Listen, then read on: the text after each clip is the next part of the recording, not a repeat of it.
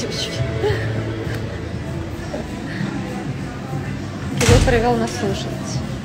Здравствуйте. Опс, а все занято.